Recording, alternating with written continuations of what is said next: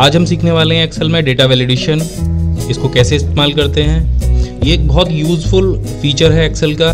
तो हमने यहाँ पर एक टेबल बनाई हुई है और हम देखते हैं कि इसमें डेटा वैलिडेशन की इस्तेमाल करके इस टेबल को कैसे और बेहतर बना सकते हैं। मानिए अभी आप जो टेबल में जो आपने कुछ कॉलम लिए हैं जैसे जेंडर है एज है एड्रेस है या इंटरेस्ट हैं इनको आप आ, कैसे डेटा वैलिडेशन से ठीक तरीके से बिना कोई गलती किए अपने किसी भी साथी से टाइप करवा सकते हैं। यहाँ पर आप देखिए, अगर ये मेल लिखा हुआ है, अगर इसको मैनुअली कोई एम ई कर देगा तो आप उस गलती को नहीं पकड़ पाएँगे। लेकिन डेटा वैलिडेशन ये गलती होने ही नहीं देगा।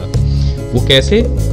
चलिए जान लेते हैं। यहाँ पर आप इस लिस्ट को भी हम हटा देते हैं यहाँ से। ये देखिए, अब हमें यहाँ पर जेंडर किसी से टाइप कराना है। तो हमने यहाँ पर एक अलग से दो लिस्ट और बना रखी हैं। जेंडर में हमने मेल और फीमेल दिया हुआ है। और उसको हम कैसे यहाँ पर लेके आएँगे? बिना कोई गलती किए कैसे उसे टाइप कर पाएगा? जानते हैं। यहाँ पर हम इस कॉलम को सेलेक्ट कर लेते हैं। डाटा टैब पर जाते हैं। यहाँ पर आपको दिखाई देगा डेटा वैलिडेशन इस पर क्लिक कीजिए। डेटा वैलिडेशन पर जाइए। और यहाँ पर आपको तीन टैब दिखाई देंगे। एक सेटिंग इनपुट मैसेज और एरर अलर्ट आप सेटिंग में जाइए सेटिंग में यहाँ पर अलाउ का बटन दिखाई देगा। अलाउ यानी कि आपको यहाँ पर क्या अलाउ करना है, किस चीज़ की परमिशन आपको इस लिस्ट में देनी है।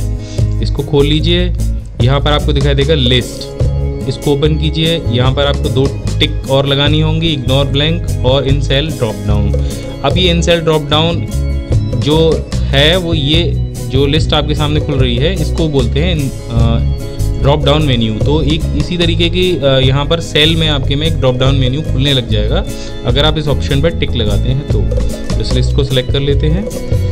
यहाँ पर ये हमसे पूछेगा सोर्स तो हम यहाँ पर जो अभी हमने जेंडर का कॉलम सेलेक्ट किया है तो इसको हम सोर्स भी जेंडर वाली ही बताएँगे। तो सोर्स देने के लिए आप यहाँ पर इसको इस आइकन पर क्लिक कीजिए और यहाँ से इसको मेल और फीमेल सेलेक्ट करके सोर्स दे दीजिए।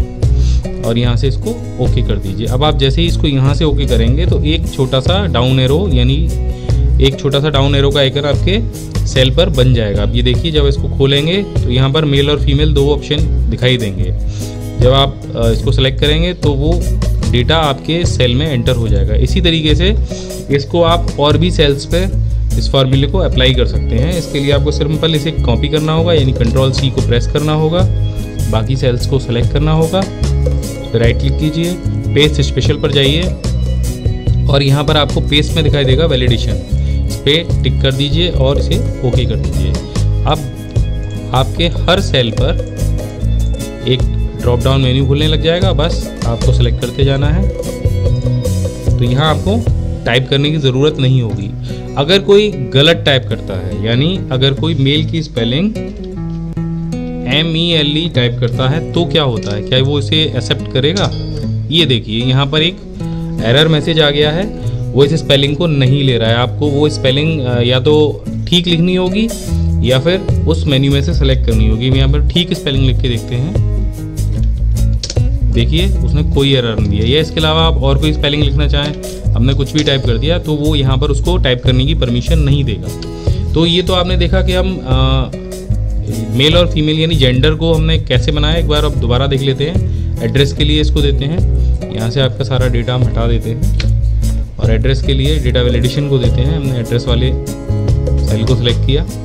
एक बार दोबारा देख लेते हैं। डेटा वैलिडेशन पर गए। यहाँ पर हमने लिस्ट को सेलेक्ट किया। और सोर्स में हमने यहाँ पर दिया मथुरा, दिल्ली, आगरा। और ये देखिए। एक लिस्ट ड्रॉप डाउन मेन्यू आपके हर सेल पर आ गया। अब आप बड़े आराम से किसी को भी ये टाइप करने के लिए दे सकते हैं कि भाई ये डेटा तुमको हमारी इस टेबल में एंटर करना है और वो बिना कोई मिस्टेक किए, क्योंकि उसको वो परमिशन होगी ही नहीं कि वो इसके अलावा और कुछ भी टाइप कर पाए। अब आता है यहाँ पर एज का ऑप्शन एज वाले ऑप्शन में आप यहाँ पर, क्योंकि हर किसी की एज एक जैसी नहीं हो सकती, ये डिफरेंट हो सकती हैं तो यहाँ पर आपको बिटवीन वाले ऑप्शन का इस्तेमाल करना होगा।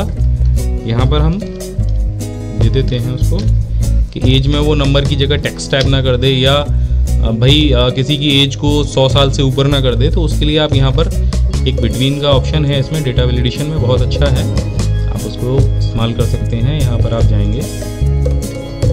यहाँ पर होल नंबर बिटवीन को मिनिमम में हम यहाँ पर ज़ीरो दे देते हैं, या अगर कोई ऐसी लिस्ट हम बनाना चाह रहे हैं जिसमें हमें 18 साल से कम के लोग नहीं रखने हैं और 32 साल से ज़्यादा के लोग नहीं रखने हैं तो यहाँ पर आप मिनिमम में 18 साल भर देते हैं और मैक्सिमम में 32 साल, और इसको यहाँ से ओके कर देंगे। तो ये पूरी लिस्ट में वो फॉर्मूला अप्लाई हो जाएगा। अगर आप 32 साल से ऊपर का कोई व्यक्ति यहाँ पर एंटर करते हैं तो उसको नहीं लेगा।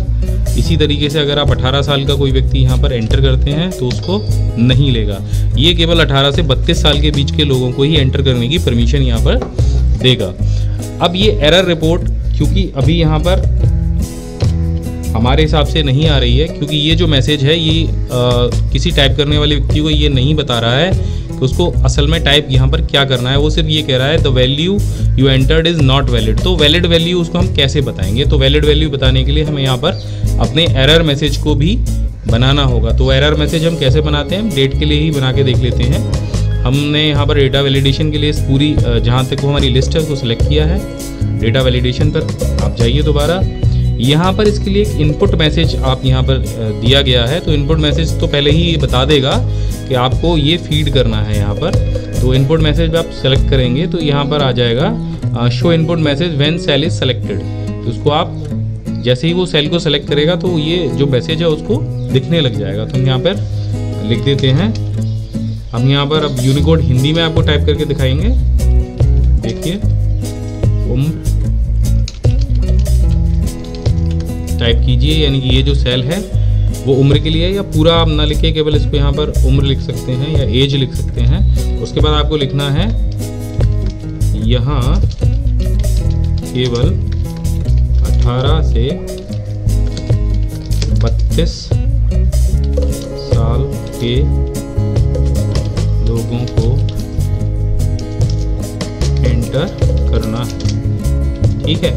हमने यहाँ पर उसको मैसेज दे दिया कि आपको इस सेल में करना क्या है। अगर वो ये नहीं करता है तो यहाँ पर उसको स्टॉप करेंगे और लिखेंगे, आपने गलत टाइप किया है।